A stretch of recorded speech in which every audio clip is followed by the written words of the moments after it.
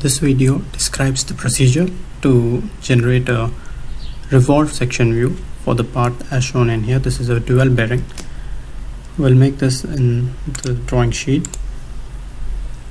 So in the drawing sheet we move over to task pane. We have view palette. Select the file which is open the dual bearing. From the the various multi-views select the front view as the view from which the section would be generated. The scale is too big. Let us try to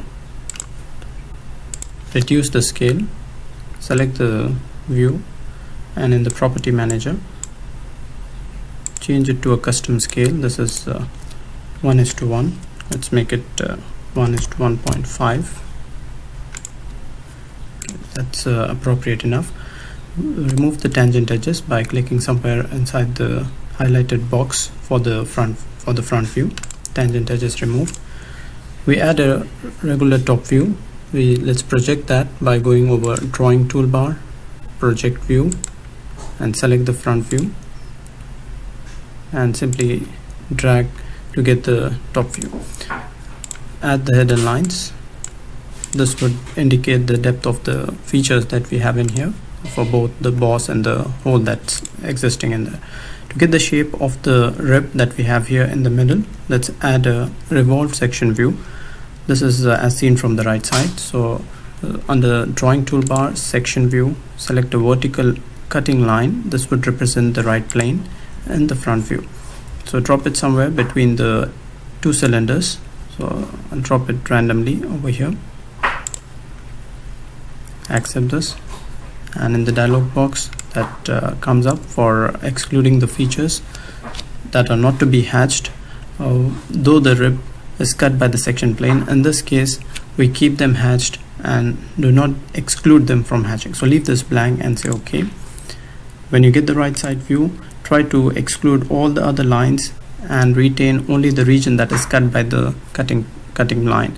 So let's try to uh, check the box here which is slice section in the property manager which leaves behind only the region that is cut by the plane.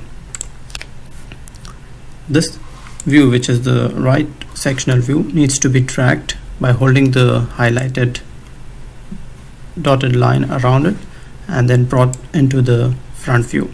So this is how the revolved section view is represented. This is one way of representing it. The other way you can create a split line. I will drag this out. Create a break line uh, between uh, or across the cutting line that you have here and insert this in between. This can be done by going to drawing toolbar. You have uh, a break view. The cutting direction is vertical size we'll leave it for now 12.7 we have a zigzag cut as the style. So let's drop this in the front view. Select the view. It's already selected there as the right view. So I'll move move out of this click on on it again. This is break view. Select the make the selection in the property manager and drop one break line before the cutting line another one after it.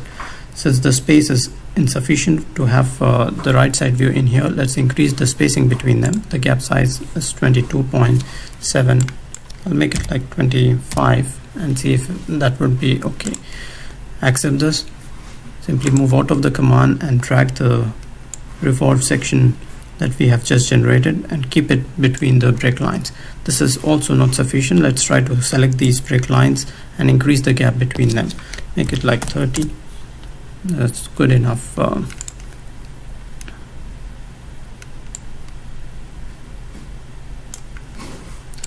okay. So this is how uh, a revolved section view is generated. You may add the other details like center lines center marks and so on as described in earlier videos. Thank you